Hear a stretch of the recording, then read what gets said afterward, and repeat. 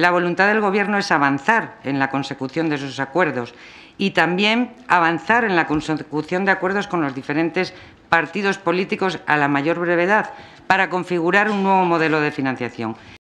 Apelo al sentido de la responsabilidad, apelo a esa necesidad de trasladar esa recuperación económica a nuestras administraciones territoriales a todos los grupos políticos representados en esta Cámara, pero fundamentalmente al Partido Socialista, que es el primer partido de la oposición.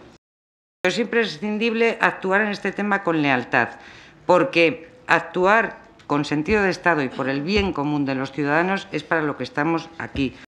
Estamos hablando de personas, de mejorar los servicios que se prestan en las comunidades autónomas, pero sin perder de vista el principio consagrado en nuestra Constitución de que todos los ciudadanos deben disfrutar de iguales derechos y obligaciones en cualquier parte del territorio. El primer principio necesario para impulsar un nuevo sistema de financiación, a nuestro entender, es la lealtad, lealtad institucional de las comunidades autónomas hacia el Gobierno central y del Estado central hacia las comunidades autónomas y también entre las diferentes comunidades autónomas.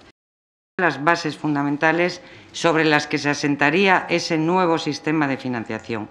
Una financiación suficiente de acuerdo a los principios de solidaridad, suficiencia, equidad, transparencia, corresponsabilidad fiscal y garantía de acceso de todos los ciudadanos en términos de igualdad a los servicios públicos fundamentales.